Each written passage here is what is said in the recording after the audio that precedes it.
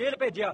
14 ਦਿਨ ਦੇ judicial remand ਤੇ ਇਹਨਾਂ ਕੋਲ ਇੱਕ ਵੀ ਐਵੀਡੈਂਸ ਨਹੀਂ, ਸਿਰਫ ਬੰਦੇ ਦਾ ਬਿਆਨ ਹੈ।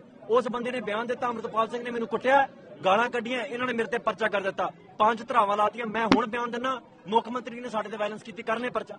ਇਹ ਬੰਦੇ ਸਿਰਫ ਪੋਲੀਟੀਕਲ ਮੋਟਿਵ ਤੋਂ ਪਰਚਾ ਕੀਤਾ ਹੁਣ ਸਾਡੀ ਇੱਕੋ ਹੀ ਮੰਗ ਹੈ, ਅਸੀਂ ਕਦੇ ਵੀ ਇਹਨਾਂ ਕੰਮ, ਮੈਂ ਉਦੋਂ ਵੀ ਆ ਸਕਦਾ ਜਦੋਂ ਤਿਆਰੀ ਕੀਤੀ ਹੈ। ਇਹਨਾਂ ਨੇ ਕਿਹਾ ਵੀ ਇੱਕ ਦਿਨ ਦਾ ਟਾਈਮ ਦੇ ਦਿਓ। ਮੈਂ 4 ਦਿਨ ਦਾ ਟਾਈਮ ਦਿੱਤਾ ਬੋਲ ਸਿੰਘ ਵਾਲੀ ਸਟੇਜ ਤੋਂ। ਇਹਨਾਂ ਨੂੰ ਲੱਗਦਾ ਸੀ ਵੀ ਅਸੀਂ ਕੁਝ ਕਰਨ ਜੋਗੇ ਨਹੀਂ।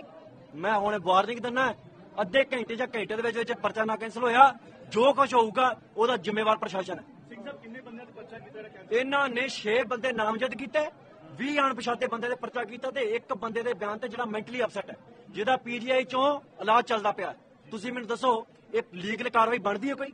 ਇੱਥੇ ਬੰਦੇ ਵੀਡੀਓ 'ਚ ਬੰਦੇ ਨੂੰ ਕੁੱਟਦੇ ਨੇ ਇੱਥੇ ਰੋਜ਼ ਕਤਲ ਹੋ ਜਾਂਦੇ ਨੇ ਇੱਥੇ ਰੋਜ਼ ਐਨਕਾਊਂਟਰ ਹੋ ਰਹੇ ਨੇ।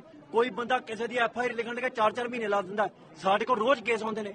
ਇਹਨਾਂ ਨੇ ਕਿਸੇ ਬੰਦੇ ਦੇ ਬਿਆਨਾਂ ਦੇ ਆਧਾਰ ਤੇ ਮੇਰੇ ਤੇ ਪਰਚਾ ਕਰ ਦਿੱਤਾ ਇਹਨਾਂ ਨੂੰ ਪਤਾ ਨਹੀਂ ਲੱਗਦਾ ਵੀ ਇਹਦਾ ਕੀ ਮਤਲਬ ਹੈ ਇਹ ਸਿਰਫ ਸਾਨੂੰ ਚੈੱਕ ਕਰਦੇ ਨੇ ਹੱਥ ਧੋ ਕੇ ਵੀ ਅਸੀਂ ਕੀ ਕਰ ਸਕਦੇ ਹਾਂ ਸੋ ਉਹੀ ਇਹਨਾਂ ਨੂੰ ਦਿਖਾਉਣਾ ਜ਼ਰੂਰੀ ਹੋ ਜਾਂਦਾ ਸੰਜੇ ਦਿੱਲੀ ਦੇ ਤੱਕ ਇੱਥੇ ਬੈਠੀ ਰਹੇਗੀ हमसे जुड़े रहने के लिए हमारे YouTube चैनल को सब्सक्राइब करें और नई वीडियो की नोटिफिकेशन के लिए बेल आइकॉन को दबाएं